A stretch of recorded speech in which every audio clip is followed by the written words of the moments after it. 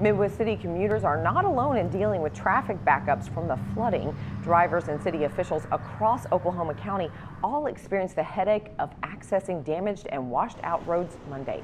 Oklahoma Department of Transportation issued an emergency declaration for US 62 in Oklahoma County after the highway shoulder and right of way in the vicinity of Air Depot Boulevard washed away in the torrential rains Friday and Saturday. Now crews have narrowed the highway down to one lane each direction because the sinkhole measures 200 yards long, 60 feet wide, and 15 feet deep. Read more on the story by Hannah Covington in the Oklahoman.